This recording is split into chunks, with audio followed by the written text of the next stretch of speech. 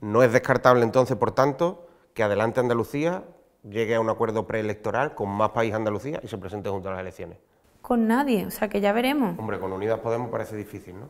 Ojalá fuera posible tener algún tipo de acuerdo en algún momento, pero es que a nosotros nos han echado, quiero decir que no nos hemos ido por nuestro propio pie, que nos han echado del grupo parlamentario y en algunos casos, como en mi caso, también del partido, ¿no? De la noche a la mañana, sin avisar y en plena baja maternal. Pero bueno, pues ya está, pasó, ¿no? Y a partir de ahora podemos encontrar espacios de encuentro, que no tienen por qué ser y en la misma papeleta, pero que pueden ser espacios de respeto mutuo, como ha pasado en las elecciones en Madrid, donde se han presentado tres fuerzas políticas en la izquierda y, que se han respetado durante toda la campaña electoral y han eh, llevado a cabo una campaña electoral de no agresión. ¿no?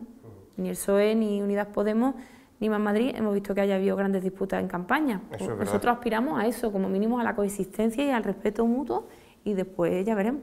Pero ¿cómo de posible es? Porque hoy, y lo hablábamos antes, ¿no? la Fiscalía del Tribunal Constitucional rechaza reintegrar a Teresa Rodríguez en el grupo parlamentario de Adelante Andalucía.